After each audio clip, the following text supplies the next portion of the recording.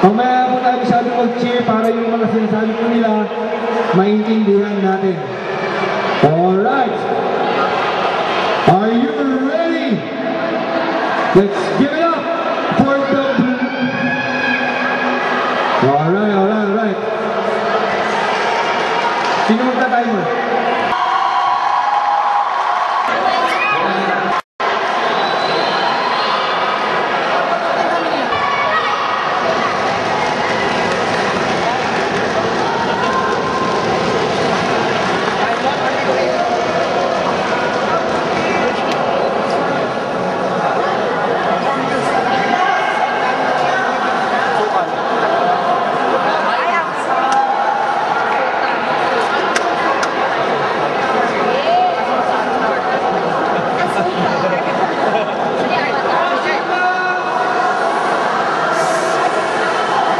हमारे